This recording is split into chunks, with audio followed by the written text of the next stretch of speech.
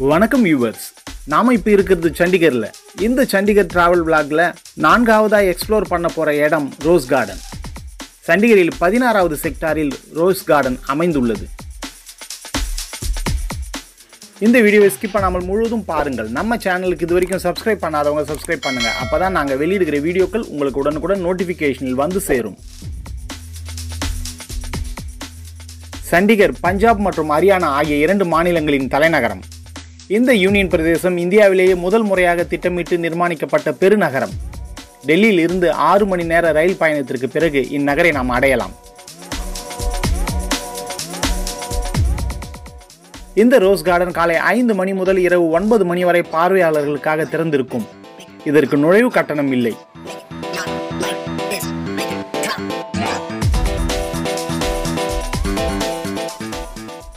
Zakir Hussain rose garden இந்தியாவின் சண்டிகரில் உள்ள ஒரு தாவரவியல் பூங்கா. இந்தியாவின் முன்னாள் ஜனாதிபதி ஜாகிர் ஹுசைன் அவர்களின் நினைவாக இந்த தோட்டத்திற்கு ஜாகிர் ரோஜா தோட்டம் என பெயரிடப்பட்டது.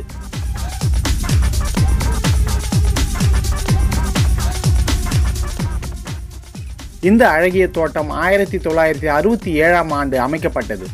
இந்த பூங்கா சுமார் இருபது ஏக்கருக்கும் மேற்பட்ட பரப்பளவில் அமைந்துள்ளது.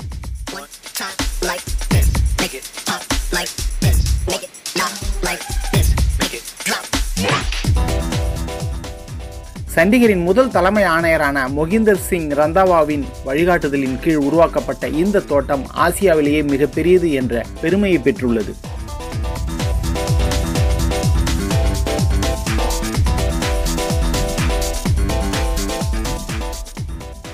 இந்த தோட்டம் பல அரிய ரோஜா வகைகளை காட்சிப்படுத்துகிறது மற்றும் ஆயிரத்தி அறுநூறு வகையான பூக்களின் தாயகமாக உள்ளது.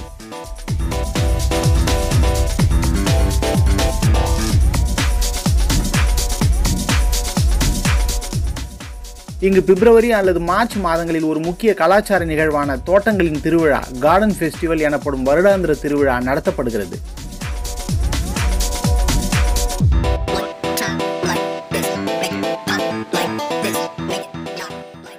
இந்த ரோஸ் கார்டனில் சுற்றுலா பயணிகளை கவரக்கூடிய விஷயங்கள். முதலாவதாக பல்வேறு வகையான ரோஜாக்கள். இரண்டாவதாக முப்பத்தி ரெண்டாயிரத்து ஐநூறு வகையான மரங்கள் மற்றும் மருத்துவ தாவரங்கள். மூன்றாவதாக ஜாகிங் ட்ராக் மற்றும் நடைபயிற்சி செய்வதற்கான வசதிகள். நான்காவதாக இங்குள்ள நீரூற்று. ஐந்தாவதாக வருடந்தோறும் நடைபெறும் கலாச்சார விழா மற்றும் ரோஸ் திருவிழா.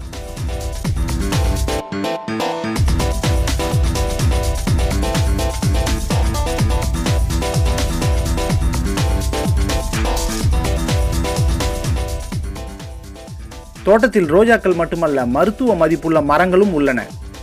இங்கு வில்வம் கற்பூரம் கடுக்காய் தான்றி கொன்றை ஆகிய மருத்துவ வகை மரங்கள் உள்ளன.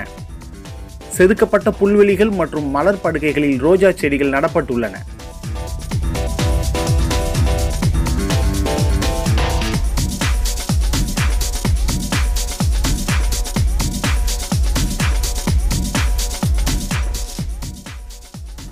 ஒரு லட்சத்திற்கும் மேற்பட்ட பூச்செடிகள் இந்த பூங்காவில் உள்ளன.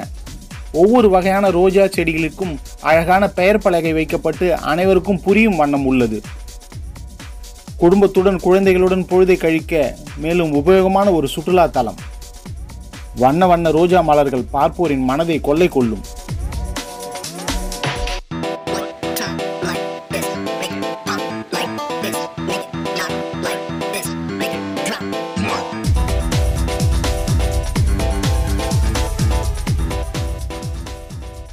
ரோஸ் கார்டன் பல புதுப்பித்தல் மற்றும் விரிவாக்கங்களுக்கு உட்பட்டுள்ளது.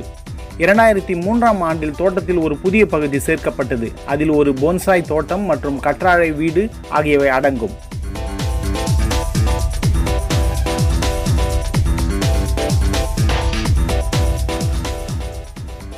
இரண்டாயிரத்தி பதிமூணாம் ஆண்டில் இந்திய தோட்டக்கலை சங்கத்தின் நூறாவது ஆண்டு விழாவை கொண்டாடும் வகையில் தோட்டத்தில் ரோஜா திருவிழா நடைபெற்றது.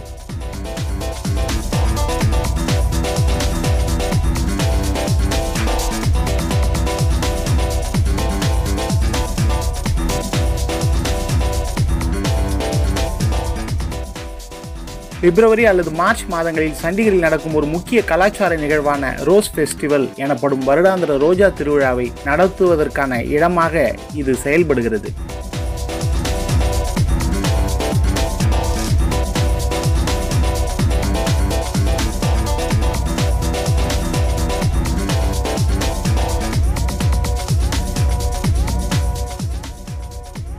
சண்டிகர் நிர்வாகத்தின் சுற்றுலாத்துறையால் நடத்தப்படும் திருவிழா வழக்கமாக பிப்ரவரி அல்லது மார்ச் மாத கடைசி வாரத்தில் நடைபெறும். இவ்விழாவிற்கு இருபதாயிரத்துக்கும் மேற்பட்டோர் வருகை தருகின்றனர்.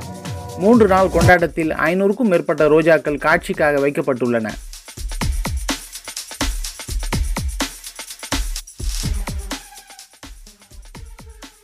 ரோஸ் ஃபெஸ்டிவல் திருவிழாவின் போது உணவுப் போட்டிகள் ஜாய் ரைடுகள் புகைப்பட போட்டிகள் ரோஸ் பிரின்ஸ் மற்றும் இளவரசி போன்ற பல்வேறு வகையான போட்டிகள் இங்கு நடத்தப்படுகிறது. போட்டிகளில் சண்டிகர் நகர மக்கள் கலந்து கொள்கின்றனர்.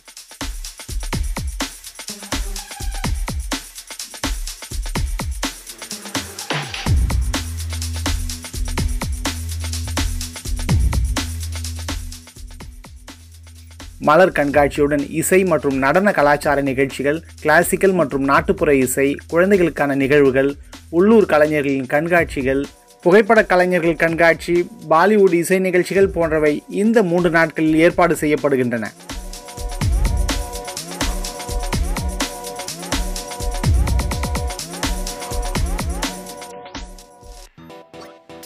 இந்த ரோஸ் கார்டனை சுற்றி பார்க்க வரும் சுற்றுலா பயணிகள் இவ்வளவு விதமான ரோஜா மலர்களா என வியப்பில் மகிழ்ந்து போகிறார்கள்.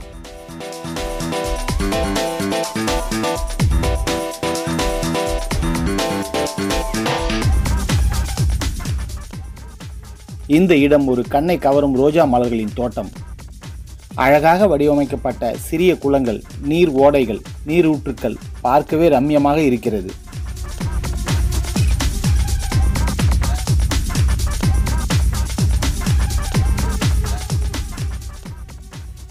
இங்கு புகைப்படம் எடுக்க மக்கள் ஆர்வமாக உள்ளனர். ஆங்காங்கே ஓய்வு எடுக்க இருக்கைகள் உள்ளன.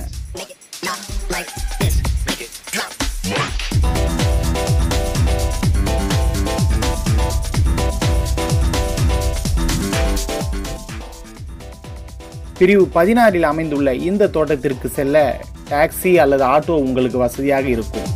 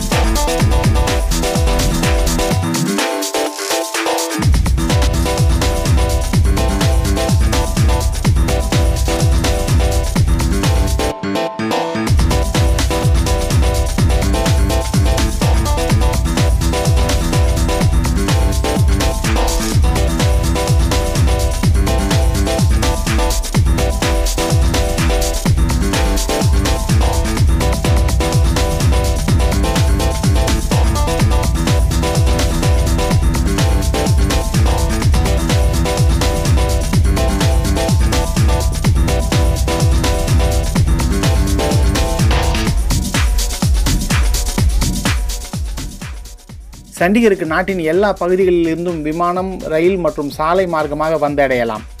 சண்டிகர் விமான நிலையம் இந்த இடத்தில் இருந்து தோராயமாக பதினைந்து கிலோமீட்டர் தொலைவில் அமைந்துள்ளது.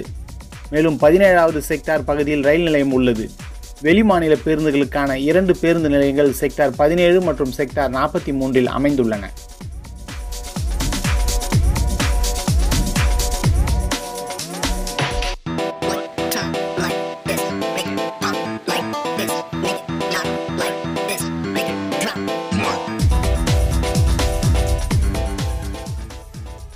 நீங்கள் சண்டிகர் போனால் மறக்காமல் ரோஜா தோட்டத்தை விசிட் பண்ணுங்க.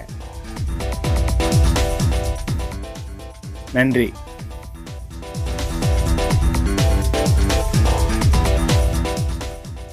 இந்த வீடியோ உங்களுக்கு பிடித்திருந்தா ஒரு லைக் பண்ணுங்கள் கமெண்ட் பண்ணுங்க. நம்ம சேனலுக்கு இது வரைக்கும் சப்ஸ்கிரைப் பண்ணாதவங்க சப்ஸ்கிரைப் பண்ணுங்க. கூடவே பக்கத்தில் இருக்கிற பெல் பட்டனை அழுத்தி ஆல் செலக்ட் பண்ணுங்க. அப்பதான் நாங்கள் வெளியிடுகிற வீடியோக்கள் உங்களுக்கு உடனுக்குடன் வந்து சேரும்.